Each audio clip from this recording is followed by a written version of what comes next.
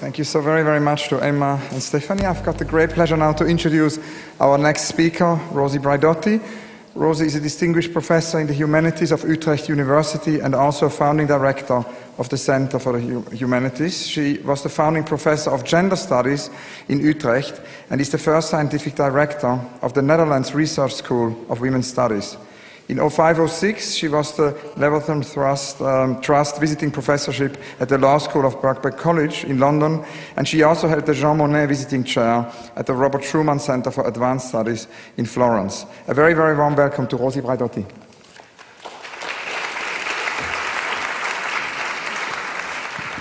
Thank you very much. It's a great pleasure, quite an honor to be here. And I would like to thank the two masterminds of this uh, mammoth marathon, Julia Peyton Jones and Hans Ulrich Obrist, for inviting me and for still being alive, which is quite something. Um, as a social theorist and feminist philosopher, I approached this stand with a certain trepidation for two main reasons. the first one is I fully intend to stick to the 15 minutes of allocated times, which is daunting enough. Secondly, I absolutely brought no visuals. And I expect you at this point to be rather grateful for that and sort of switch off and say, ha, because we've had such a lot of um, high quality, dense material that, quite frankly, I am already overdosing um, on images. So I will ask you to switch off your computer, switch on your inner reservoir and, and sort of uh, garderobe and uh, uh, archive of images and do your own projections. If I could do brain scans, I would love to record what you come up with, and I would like to be able to store it. And next time I do a talk, I could project your own visualizations of what you think that I may be saying here. But that's for the next marathon on neural aesthetics coming up, I'm sure, in the near future. I have three points to make, and I hope that I make them complicated enough to keep you alive. And those of you who continue to Google and email, good for you, I will do the same. And it is really a set of variations on what I would call the cartographic convulsions of critical theory. The extent to which cartographies, maps, and mappings have been a dominant topos in critical theory, continental philosophy, as a European, when every time I say continental philosophy, my heart sinks, is there any other, would be the question there, but that's for another discussion.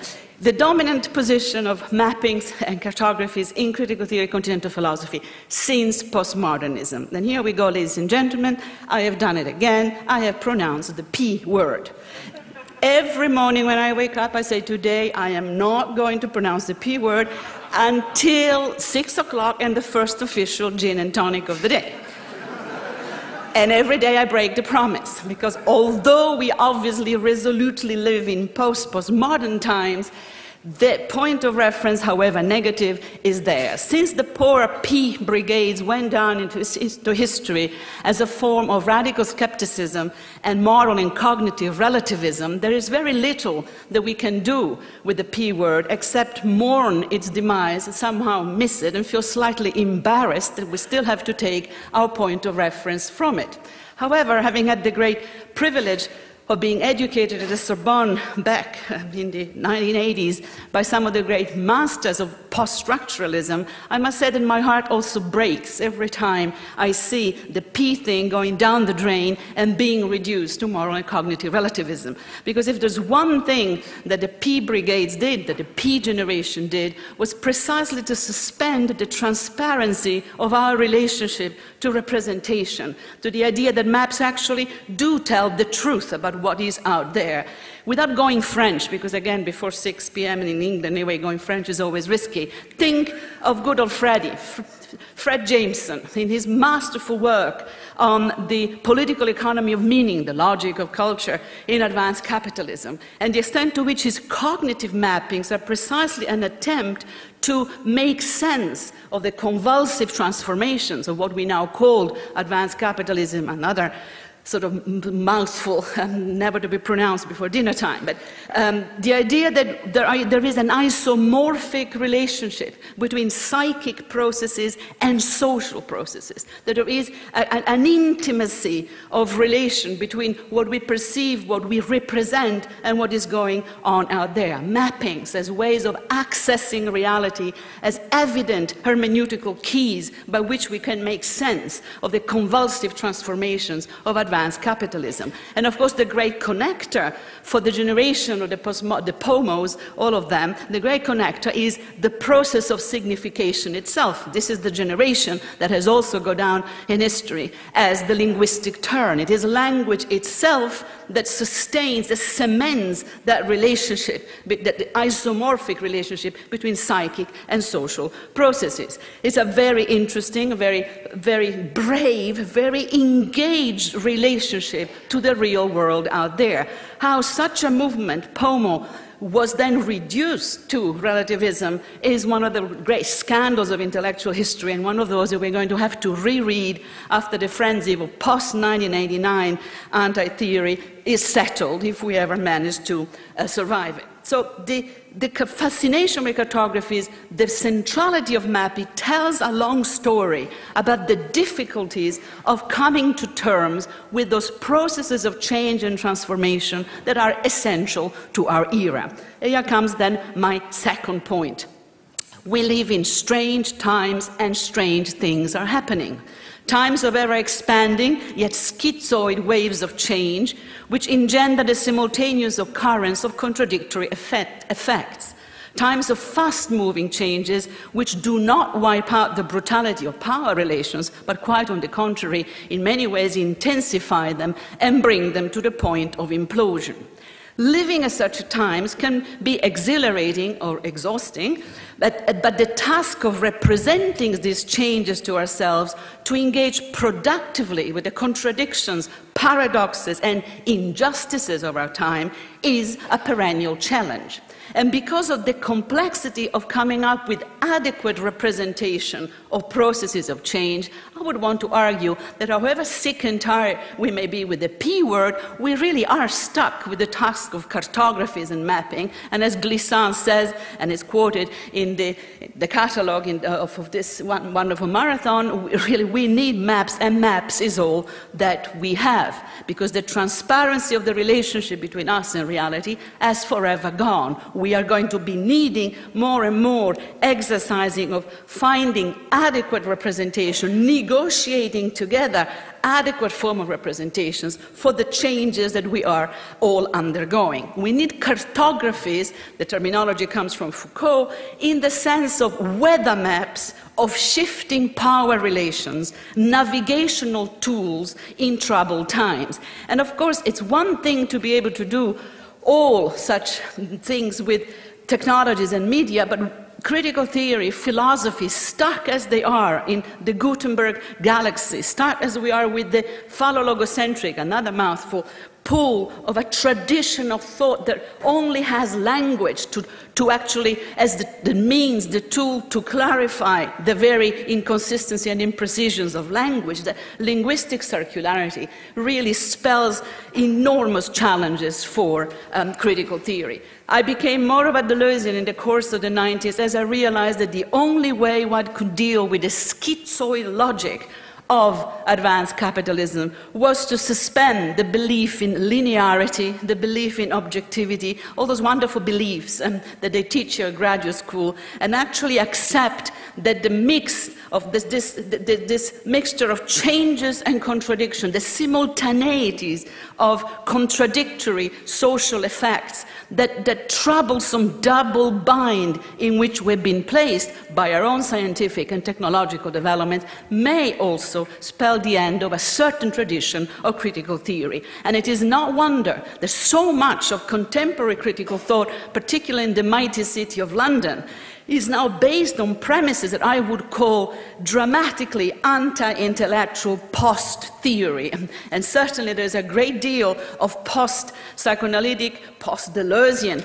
Uh, critical thought floating around, um, which oversimplifies so much of the great I would call a symbolic capital of the great tradition of thought that the post-structuralist, the postmodernist um, have embodied and have bequeathed upon us. Um, I shall not name names, but there is a, a, a, tendency to reduce a whole generation of thinkers, to simplify it and to dismiss it, for instance, as having been so theoretical, so speculative, that they didn't give us a politics, and that real politics has to do with some kick-ass smashing a few heads, and then you feel so good about it, because that's really the political.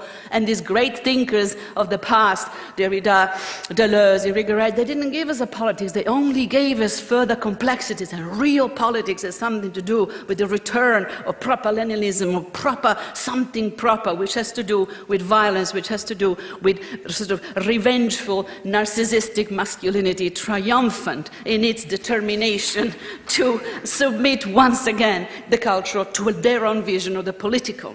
In opposition to this, and that is the last point because I did say I was going to make it in 15 minutes, I would like to then look at how we could turn critical theory around into something that would be more affirmative and in that respect reconnect to what I would consider the rigorous conceptual passions that motivated that rhizomic uh, uh, sort of revolutionary subversive way of thinking about our necessity to engage with the present.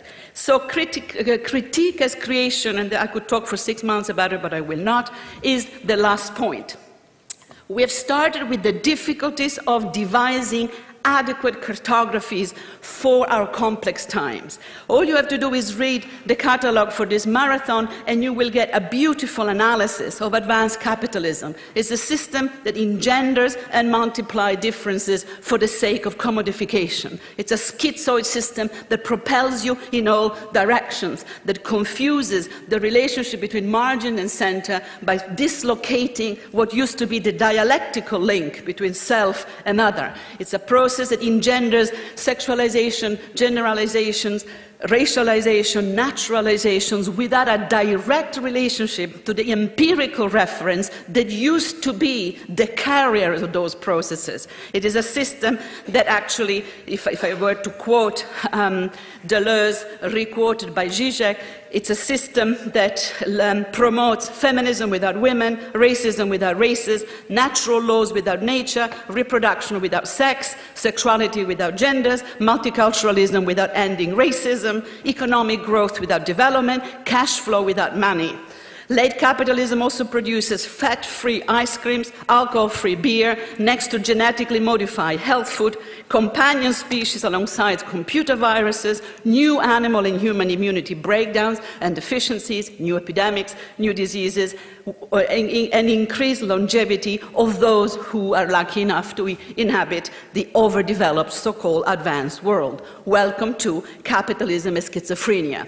If this is, it's a straight quote from Deleuze and Guattari, if this is the case then, how do we engage with the times? How can we be worthy of our times? And this is a citation from Spinoza, picked up from that masterpiece of 20th century philosophy that is The Thousand Plateaus of Deleuze and Guattari. How can we be worthy of the times while resisting the times? How can we engage with the present because this is all we have? Because all ideological, teleological future visions have completely let us down and have absolutely hit bottom line.